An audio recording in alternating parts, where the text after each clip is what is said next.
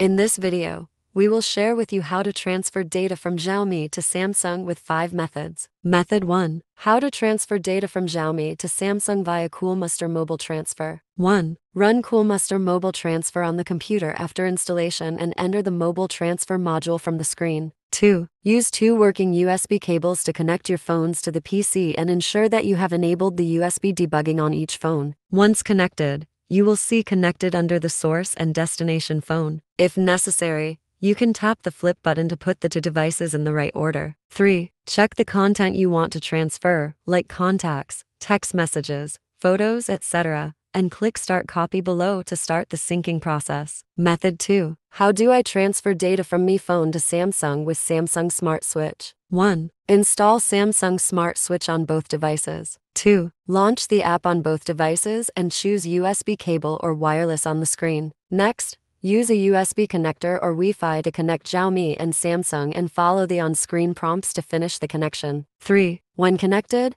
choose the content you want to transfer on Xiaomi and click the transfer button to begin the data transfer to Samsung. Method 3. How do I transfer files from Xiaomi to Samsung using Cloneit? 1. Open the Google Play Store on both devices. Search for the Cloneit and install it on two devices. 2. Log out of the Google account on the Xiaomi phone and open it on both devices. 3. On the Xiaomi phone, click Sender, and on Samsung, tap Receiver. When your Samsung phone detects the Xiaomi device, click the Xiaomi icon on the Samsung screen and touch OK on Xiaomi. This will make a connection between Xiaomi and Samsung. 4. Tap the option, click here to choose details, select the data type to send, and hit the Start button. When the progress bar is complete, tap Finish and exit the app. Method 4. How to transfer data from Mi to Samsung via MIUI. 1. Make your Xiaomi phone and computer connected with a stable and same Wi-Fi network. 2. On Xiaomi, go to Tools Explorer categories FTP start FTP and remember the site IP and FTP port number. If your Xiaomi is with MIUI 12,